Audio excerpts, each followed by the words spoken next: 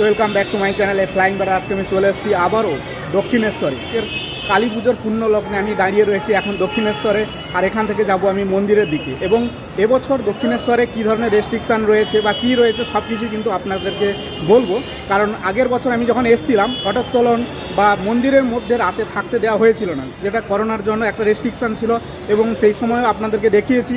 তো এবছরে আমি এসেছি কালী পুজোর ঠিক আগের দিন, কারণ কালী পুজোর দিন আপনারা কখন আসবেন বা কত সময় পর্যন্ত মেট্রো চলাচল করবে সব কিছু ইনফরমেশান দেবো এবং কখন কীভাবে পুজো দেওয়া যাবে, কত সময় মন্দির খোলা থাকবে সব কিছু ইনফরমেশান নিয়ে আজকের এই ব্লগ এবং ব্লগে আমি সব কিছুই জানাব আপনাদেরকে।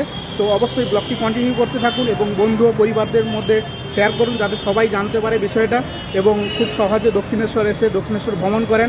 চলুন আজকে দক্ষিণেশ্বর মন্দির আপনাদেরকে গাইস এখন আমি দাঁড়িয়ে আছি শহীদ ক্ষুদিরাম মেট্রো স্টেশনে এখান থেকে মেট্রো ধরবো, যাব দক্ষিণেশ্বর।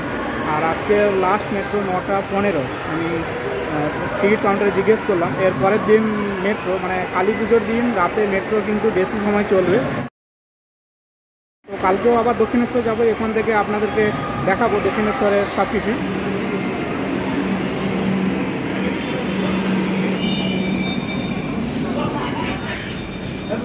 এখন মেট্রোর মধ্যে ঢুকে গেছি। দক্ষিণেশ্বরে নামার অপেক্ষায়। দীর্ঘ এক ঘণ্টার জার্নির পর অবশেষে আমরা দক্ষিণেশ্বর মেট্রো স্টেশন।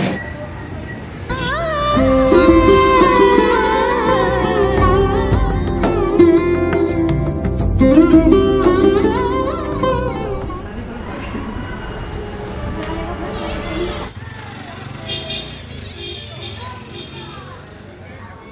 চলে এসেছি দক্ষিণেশ্বর মন্দিরে একদম ক্যাম্পাসের মধ্যে।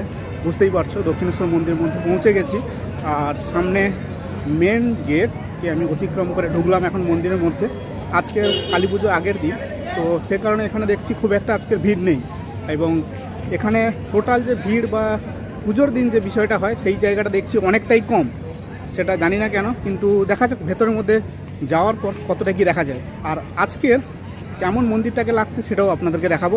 যে পুজোর আগের দিন কেমন বা কেমন সাজিয়েছে?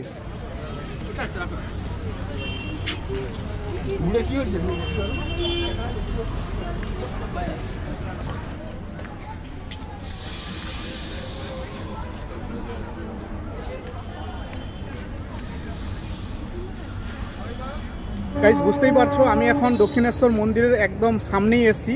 আর এই যে পুকুরটা রয়েছে, এর সামনে থেকে দক্ষিণেশ্বর মন্দিরের যে ভিউ সেটা খুব সুন্দরই আছে। আর দেখুন, আজকের মন্দিরটাকে কেমন লাগছে।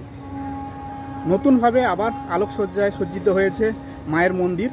আর সেই মন্দিরটা কালী পুজোর আগের দিন দেখাটা সত্যি অসাধারণ একটা ফিলিংস এবং খুবই খুবই ভালো লাগছে যে কালকের আবারও আসব এবং এখান থেকে এখানকার ঘটোত্তোলন বা এখানে পুজো দেব, সেই সব জিনিসগুলো আপনাদের সঙ্গে শেয়ার করব। সেটা আজকে থেকে ভেবে খুবই ভালো লাগছে। তো দেখুন, খুব সুন্দরভাবে সাজিয়েছে আজ দক্ষিণেশ্বরের মন্দিরকে।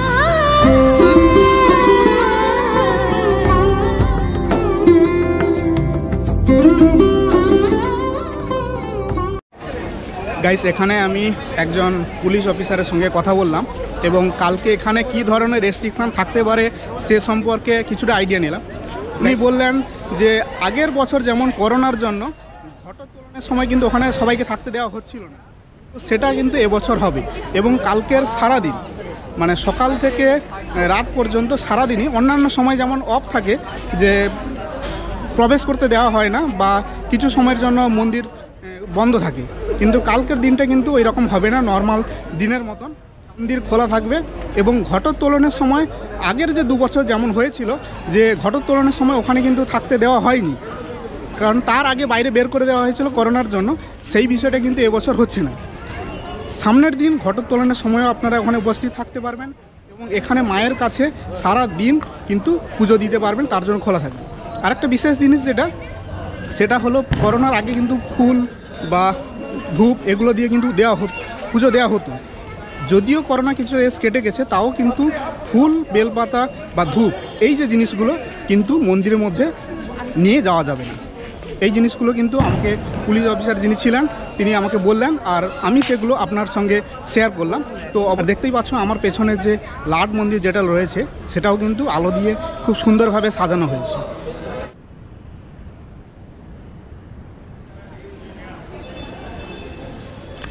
দেখতে পাচ্ছেন?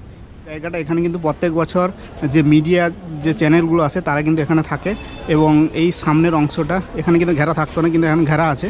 আর সামনে দেখুন দুদিকে কলা গাছ দিয়ে এ করা হয়েছে, যেমন আমাদের পুজোর সময় হয়। এখানেও কিন্তু সেই জিনিসটা কিন্তু কমপ্লিট হয়ে গেছে। উপরে দেখুন, এখানে কিন্তু ওই ডিডি বাংলা বা কিছু, তারা এখানে থাকে। তো এই জিনিসটাও দেখুন, এখানে আজকের হয়ে গেছে। তো বুঝতেই পারছেন মানে প্রস্তুতি একদম শেষ মুহূর্তে।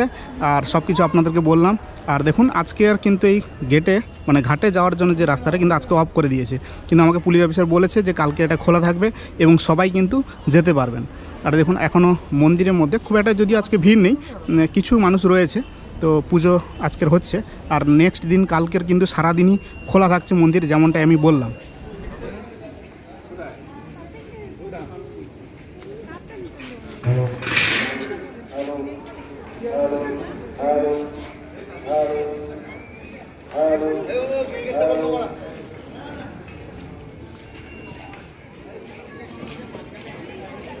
এখন দেখতে পাচ্ছ দক্ষিণেশ্বর মন্দিরটা, আজকের দিনে কত সুন্দর লাগছে এবং কালকের কালী পুজো।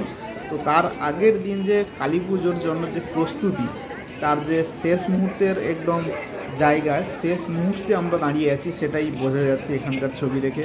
আর আমি সেই যে মন্দিরের ছবিটা আপনাদেরকে জুম করে দেখাচ্ছি, তো দেখুন, এবং ভালো লাগবে আপনাদেরকে যখন কালকে আপনারা আসবেন, এখানে পুজো দেবেন। তো বুঝতেই পারছেন, স্যার যে আনন্দ, তার যে অনুভূতি, সেটা প্রত্যেক বছর আমি এখানে আসি, আমি এখানে জানি। তো আপনারাও যদি এসে থাকেন, তাহলে অনুভব করতে পারবেন, না হলে ভার্চুয়ালি আমার ভিডিও থেকেও আপনারা ফিল করতে পারবেন এখানে কেমন কি হচ্ছে। দক্ষিণেশ্বরে এসে মায়ের পুজো দিতে গিয়ে এখানে দাঁড়িয়ে সেলফি কেউ তুলবে না এমনটা হয় না। প্রত্যেকে এসে এখানে সেলফি তোলেন, কারণ এই জায়গাটা খুবই সুন্দর। আর এই যে জায়গাটাতে প্রসাদ নেওয়া হয়, সেই জায়গাটা দেখতে পাচ্ছেন আজকে চারদিকে পরিষ্কার পরিচ্ছন্ন করা হচ্ছে এবং সামনের দিন পুজো। মন্দিরটা আমি ঘুরে আপনাদেরকে দেখালাম এবং কেমন লাগল অবশ্যই কমেন্ট বক্সে কমেন্ট করে জানান। আর কালকের তো আমি আসছি ঘটোত্তোলনের সময় থাকব।